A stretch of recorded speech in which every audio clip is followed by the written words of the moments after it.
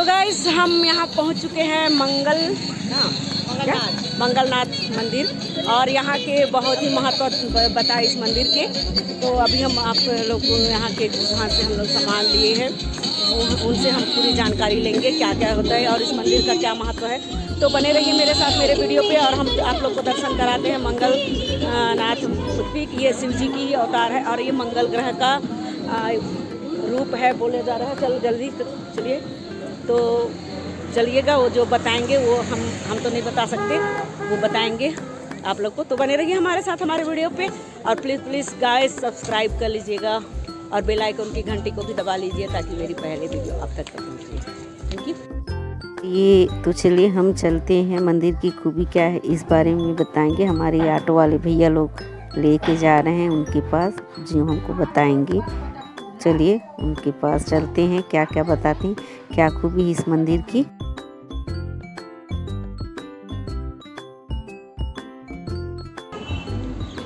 ये आप लोग जिस स्थान पे आए हैं, ये नोई ग्रहों में मंगल भगवान का जन्म स्थान है और यहाँ शिव रूप में मंगल भगवान की उत्पत्ति हुई है। स्कंद पुराण के अनुसार शिव जी के मस्तक का पसीना यहाँ धरती पर गिरा, जिससे शिवलिंग के रूप में मंगल भगवान का जन्म हुआ है। आप अंदर जाएँगे तो शिव रूप में आपको मंगल भगवान के दर्शन होंगे। अभी तक आप जितने भी शिव जी के मंदिर गए होंगे, आपने पहले भी कहीं शिव जी के मंदिर देखे होंगे।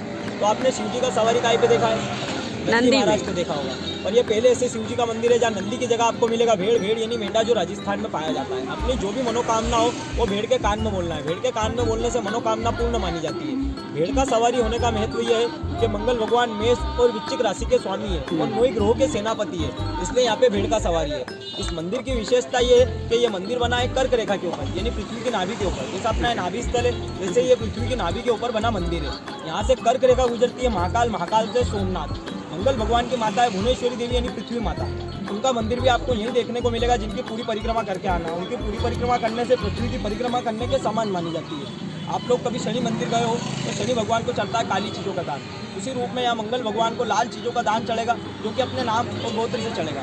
नाम गोत्र इसलिए बोला जाता है कि आप आए आपके घर परिवार से, जिस यात्रा में आपके साथ नहीं आ पाए उन लोगों का भी दान लगेगा। दान की विधि यह है कि इसमें इक्कीस बाधा, इक्कीस कष्टों के निवारण के लिए दान चढ़ाया जाता है। इक्कीस बाधा, इक्कीस कष्ट जैसे पुत्र संबंधित, धन संबंधित, विवाह संबंधित, नौकरी संबंधित, व्यापार संबंधित कर्ज संबंधित, ऋण संबंधित।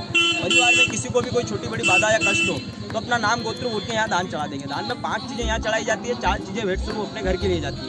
घर के लिए जाता है एक मंगल यंत्र जो कि नौ ग्रहों की शांति के लिए अपना पूजा, धन या व्यापार के स्थान पर रखा जाता है। मंगल की माला रक्त शुद्धि के लिए पहनी जाती है, क्योंकि अपने शरीर में जो रक्त का संचार होता है, वो मंगल द्वारा होता है। या घर में कोई बच्चा चिड़चिड़ापन करे, किसी की नौकरी, शादी में कलेश है तो उसको पहनाना है, या नॉर्मली भी कोई धारण कर सकता है। मंगल का फ़ोटो घर में रखने से मंगल की सभी दुख, पीड़ाएँ दूर हो जाती है। मोंगा रत्न जो कि मंगल भगवान को यहाँ पे दान करना है। दान करने के बाद उपरांत अपनी इच्छा हो तो अंगूठी लाकेट में लाके पहन सकते हैं। पाँच चीज़ें वहाँ चढ़ाई जाएगी, भेंट स्वरूप चार चीज़ें घर के लिए जाएगी। परिवार का संपूर्ण दान आता है एक सौ पचास रुपये का।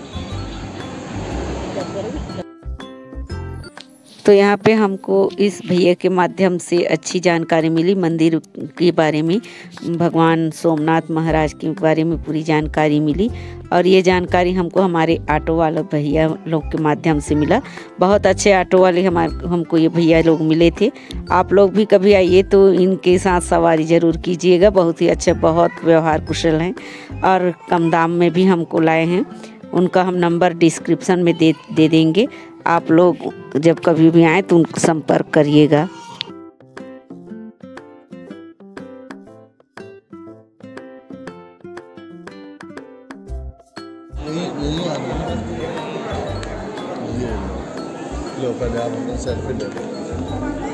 मैं शूट कर रही हूँ।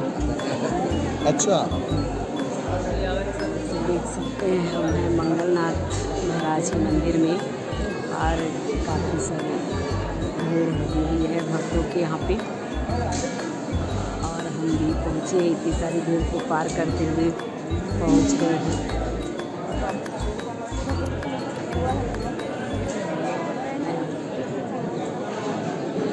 भैया लोग भी साथ में हैं। दर्शन करने आए हैं। हमारी माताएँ सभी दर्शन के लिए लाइन लगी हुई हैं। चलिएगा। सहने सहने हम भी पहुँच रहे हैं बाबा जी के पास।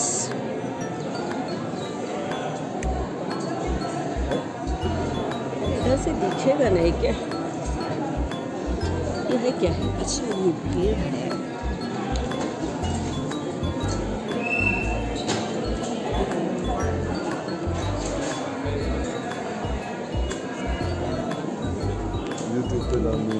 हाँ हाँ हाँ।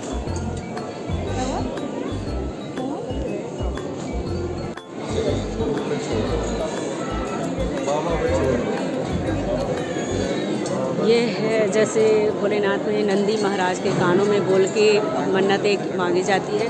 उसी प्रकार से यहाँ पे इन सामने जो दिख रहे हैं उनकी सवारी भेड़ उनके कानों पे बोल कर मनोकामना मांगी जाती है। कहा जाता है मान्यता है कि यहाँ इनके कानों पे जो भी बोला जाए मन्नत पूरा होती। है तो चलेगा हम भी दर्शन करते हैं उनके कानों पे।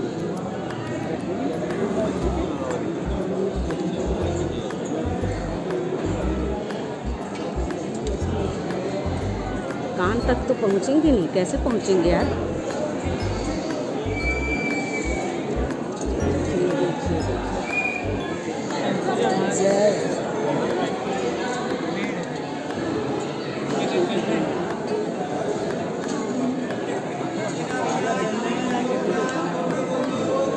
तो देख सकते काफ़ी भीड़।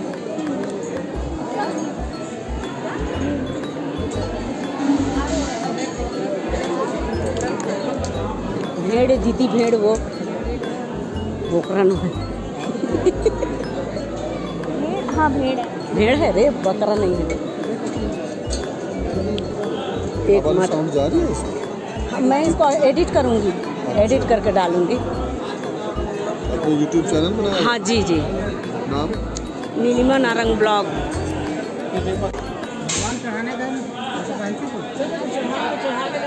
नहीं दिखेगा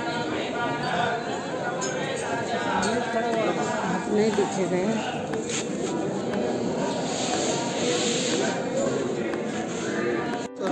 नारंग। पंजाबी आ, नहीं छत्तीसगढ़िया है। तो हमारे में भी होता है ये। अच्छा।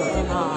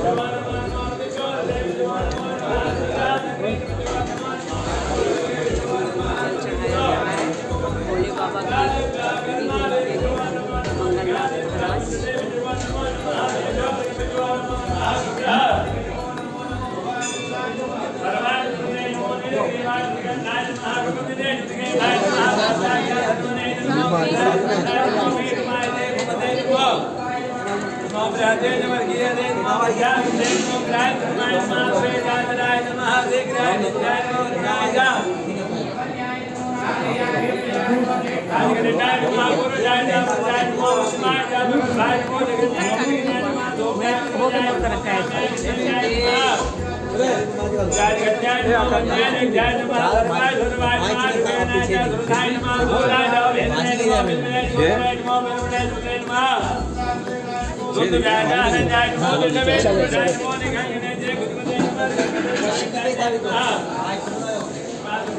देख सकते हैं, यहाँ पे हमने भगवान के दर्शन कर चुके हैं।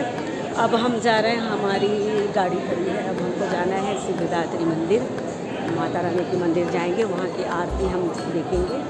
उसके तो देखिए हमारी लड़कियाँ जा रही हैं। यहाँ पे हमारा ये मंगलनाथ का दर्शन हुआ पूरा। क्या कर जय माँ धरती माता इनको हम इनको करके जय माता जय भोलेनाथ हर हर हर हर जय माँ धरती। धरती माता जिनकी परिक्रमा के अभी ये है महर्षि संदीपिनी आश्रम जहाँ पर वासुदेव श्री कृष्ण की शिक्षा हुई थी पे। मतलब कि और ये वो पवित्र स्थान है फ्रेंड्स जहाँ पर भगवान श्री कृष्ण अपने पाठ पा, उनकी पाठशाला है यहाँ अपनी शिक्षा लिए थे। उनके गुरुदेव संदीपनी मुनि का ये आश्रम है। देखिए, ये जो रूम है, यहाँ पे बैठ के पाठशाला है। यहाँ पे बैठ के भगवान श्री कृष्ण शिक्षा लिया करते थे। तो ये है ये पाठशाला, और फ़ोटो खींचना अलाउ नहीं है, ज़्यादा नहीं दिखा पाऊँगी। तो ये है वो पाठशाला, जहाँ पर भगवान श्री कृष्ण बैठकर शिक्षा प्राप्त किए हैं, सुदामा के साथ, बलराम भैया के साथ, और यहाँ पे उनके बाजू पे स्थित है ये। भगवान की प्रतिमा। यहाँ पे महाप्रसाद भी मिलता है। देख सकते हैं आप लोग तो बहुत ही अच्छी जगह है। तो चलिए, यहाँ ही हमारा वीडियो ख़त्म होता है। अब निकलते हैं हम नेक्स्ट मंदिर की ओर जाएँगे और आप सभी को जहाँ हम जाएँगे, उसका दर्शन कराएँगे। आप सभी को तो बने रहिएगा हमारे साथ। हमारे वीडियो पे और प्लीज़ सब्सक्राइब भी करिए तब तक के लिए